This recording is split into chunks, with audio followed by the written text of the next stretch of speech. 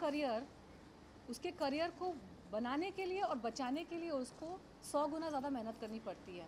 और अगर आप वो हो जिसका इंडस्ट्री में कोई माई बाप नहीं है ग्रैंडफादर नहीं है गॉड फादर नहीं है गॉड बॉयफ्रेंड जो भी इन लोगों के चलते हैं, कुछ नहीं है।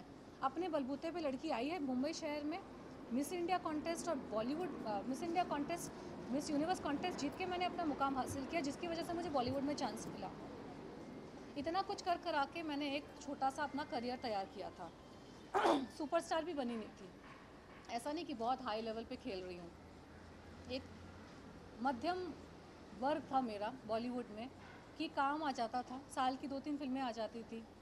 एक आध आइटम सॉन्ग्स कर लिए तो इनकम मेरी सप्लीमेंट हो जाती थी। फ़िल्मों में उतनी इनकम नहीं होती थी, नहीं देते थे मुझे वो। तो मैंने बोला, भैया, ठीक है आइटम सॉन्ग कर लेती हूँ। आइटम सॉन्ग में शोज़ मिलते हैं। तो जो फ़िल्मों से नहीं कमा पा रही हूँ, बाकी शोज़ वगैरह करके कमा लूँगी।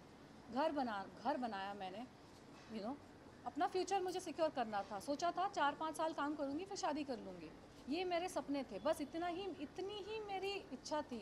मुझे नहीं बनना था सुपरस्टार मेगा स्टार फलाना ढिमकाना, मैंने कभी सोचा ही नहीं था।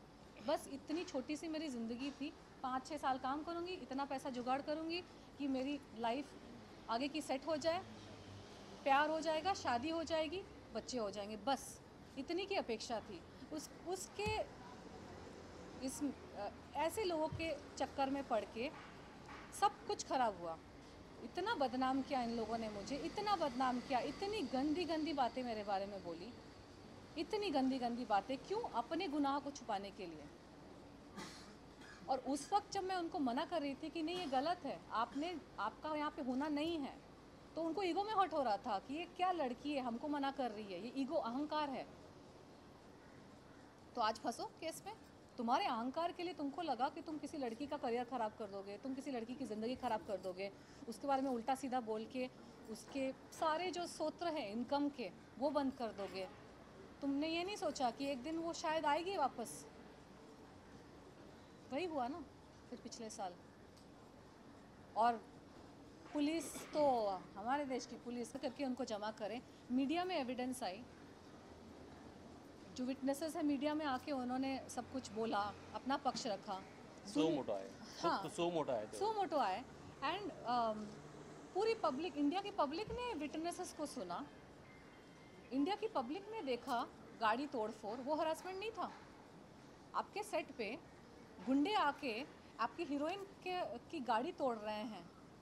आप ही के सेट पे और और उसके कंप्लेंट करने के बाद ये टू प्लस टू फोर नहीं होता कि हीरोइन ने कंप्लेंट करी कि उसको तकलीफ़ हो रही है फिर शूटिंग रुक गई फिर मीडिया वाले आ गए फिर वो वहाँ से निकल रही है और गाड़ी गुंडों ने आके टू प्लस टू फोर करना तो सबको आता है ना तो क्या पुलिस को टू पुलिस का तो काम ही है टू प्लस टू फोर करना उनका तो काम ही इन्वेस्टिगेट करके मैट, मैटर की तह तक पहुँचना लेकिन नहीं ना। अब उनके पास करोड़ों रुपए हैं। और मेरे पास तो है नहीं करोड़ों रुपए, क्योंकि अगर मुझे मौका दिया गया होता काम करने का तो मेरे पास भी आज करोड़ों रुपए होते ना। आज मैं भी, मेरे पास करोड़ों रुपए होते तो मुझे शायद जस्टिस मिलती। शायद मुझे इज़्ज़त भी ज़्यादा मिलती भैया। आजकल तो मुझे तो समझ में आ गया है, दुनिया की रीत मैंने देख ली। पैसे होते हो तो इज़्ज़त देते हैं लोग। पैसे होते हैं तो जस्टिस इंसाफ भी मिलता है। और पैसे नहीं होता, आपको इंसाफ भी नहीं मिलेगा, ना ही इज़्ज़त मिलेगी। तो है उनके पास पैसे? और पैसे कहाँ से है? नाम फाउंडेशन गरीब फार्मर्स के नाम पे करोड़ों करोड़ों रुपए लेती है कॉरपोरेट से। ये जो नाना पाटेकर का नाम फाउंडेशन है, ये जो इमेज उसने बना के रखी है ना कि मैं तो बहुत गरीब हूँ, मैं तो एक घर में रहता हूँ, ये धकोसला है, झूठ है ये। दुनिया को दिखाने के लिए है कि हम कितने विनम्र है कि कुछ नहीं है ढकोसला है। आप लोगों को उल्लू बनाना सबसे आसान काम है। सफ़ेद टोपी पहन लो, सफ़ेद कुर्ता पहन लो। अरे भाई, सफ़ेद कुर्ता तो वो भी पहने हुए था। क्या उसका नाम था? आसाराम बापू। सफ़ेद कुर्ता पहन लो एक। मंदिर के सामने हाथ जोड़ के खड़े हो जाओ, बस। संत बन गया। तुम जाके देख रहे हो? वो जो पैसा कलेक्ट कर रहे हो पैसा कहाँ जा रहा है? फार्मर्स के नाम पे करोड़ों रुपए उसके नाम फाउंडेशन में आए हैं। कहाँ गया? कुछ महीने पहले मैंने सुना हाँ फ्लड विक्टिम्स के 500 घर बन रहे तुमने जाके चेक किया? वो घर कहाँ है? बने कि नहीं घर? किसी ने जाके चेक किया? ये एक के बाद एक गुगली मारता है नाना पाटेकर और तुम लोग बिलीव भी करते हो हाँ? मैं कल बोलूँगी, मैं टिम्बकटू की महारानी हूँ, मानोगे तुम लोग? मेरा चाँद पे एक महल है। मैंने भी चाँद पे महल बनवाया है। इसने 500 घर बनवाए ना यहाँ पे। मैंने ब्रह्मांड में पा- 500 एलियंस के लिए घर बनवाया है। मानोगे तुम लोग? नहीं। किसने जाके देखा? 500 घर बनाया है। लेकिन 500 घर के लिए कल फंड तो कलेक्ट किया है फॉर श्योर एन जी चलाने वालों का की कोई छाट और ताक झाक नहीं होती यहाँ पे। कित, किसके नाम पे पैसा ऐंठ रहे हैं और कहाँ वो पैसा जा रहा है? बैंक अकाउंट चेक करके देखा है कि वो पैसा सच में फार्मर्स पे जा रहा है कि नहीं? हमारे देश में जो फार्मर्स है, गरीब, इतने गरीब है कि उनको दो वक्त की रोटी नसीब नहीं होती। उनके चार पाँच बच्चे, बड़ी फैमिलीज़ होती है, इतना प्रेशर उन पे ऊपर होता है कि फाइनली उनको लगता है भैया सुसाइड ही कर लेते हैं, क्योंकि बच्चों को बच्चों को भूखा मरते नहीं देख सकते हैं। ऐसे लोगों के नाम पे इसने पैसा है और ये जो एन है, सिर्फ़ इंडिया से उनको फंडिंग नहीं मिलती है, यूरोप, अमेरिका से, Eastern Union everywhere throughout the world Australia से फंडिंग डॉलर्स में फंडिंग मिलती है पाउंड्स में फंडिंग मिलती है। एन जो बैठे हुए हैं इंडिया के बाहर, मेरी बात अलग है, लेकिन मैक्सिमम जो एन है अच्छी अच्छी पोजीशन पे बैठे हुए हैं, उनके लिए दो चार हज़ार डॉलर्स कोई भी, कोई बड़ी बात नहीं है। डाल देते हैं फाउंडेशन पे, क्यों? अच्छा फलाना नेशनल अवार्ड विनर का फाउंडेशन है। झूठ थोड़ी बोलेंगे? डाल देंगे। किसी ने चेक करके देखा ये जो फंडिंग आ रही है अब्रॉड से इंडिया के बैंक्स पाँच पाँच दस दस बीस बीस पच्चीस पच्चीस लाख रुपया देते हैं।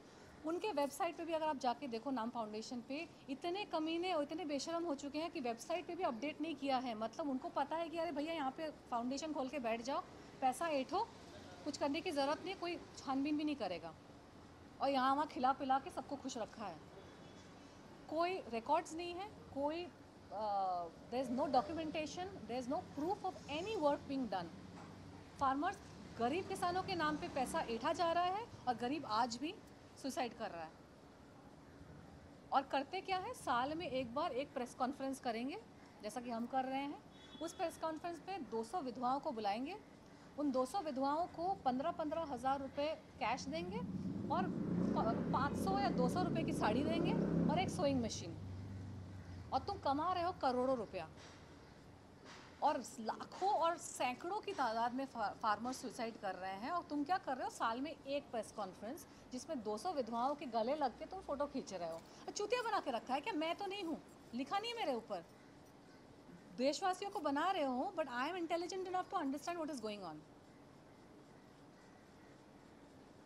करोड़ों बैंक एक एक टाइम पे जो बैंक पैसा डालती है ना, नाम फाउंडेशन में, पाँच, दस, पच्चीस lakh C S R S scheme के बारे में पता है आप लोगों को? कॉरपोरेट सोशल रिस्पॉन्सिबिलिटी जिसमें तीन परसेंट हर कॉरपोरेट को देना पड़ता है टूवर्ड सोशल कॉजेस वो पैसा आप गवर्नमेंट को डिपॉजिट कर सकते हो या फिर वो पैसा आप इंडिविजुअल एनजीओ में डाल सकते हो and you can show the receipt to the government वो गवर्नमेंट ने उसकी फैसिलिटी रखी है कि आप हमको नहीं देखे आप एनजीओ को दे के आप ना टैक्स रिबेट आप ले सकते हो।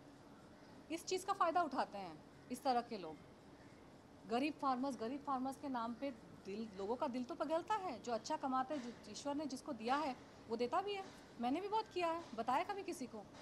मेरे दिनों में जब मैं फ़िल्में आइटम सॉन्ग जो काम करती थी, हालाँकि दूसरी हीरोइन के कंपैरिजन में बहुत कम कमाती थी, लेकिन मेरे हाथ हमेशा खुले रहते थे। मैंने भी किया है, लेकिन कभी किसी को बताया नहीं। जो करते हैं ना, वो इतना ढकोसला नहीं करते। हाँ कभी कभार सेलिब्रिटीज़ को थोड़ा बहुत पीआर करना पड़ता है बिकॉज़ उनकी वजह से बाकी फंडिंग आती है। लेकिन ये वो मामला नहीं है। ये इसके खाते में जा रहा है। इसको देख कर दूसरे सेलिब्रिटीज़ इसके खाते में डालते हैं, इसके एनजीओ में डालते हैं। लेकिन काम के नाम पे आपने सिर्फ़ प्रेस कॉन्फ्रेंसेस देखे हैं इसको। प्रेस कॉन्फ्रेंस में गरीब विधवाओं को गले लगा के फ़ोटो खींचते हुए। उस गरीब विधवा के घर में जाके उसने उसका घर बनाया कि नहीं, आपने देखा? करोड़ों रुपए आते हैं बैंक से, हर जगह से, कोई हिसाब नहीं है। तो इन लोगों के लिए पुलिस को खरीदना कौन सी बड़ी बात है? ये किसी को भी खरीद सकते हैं।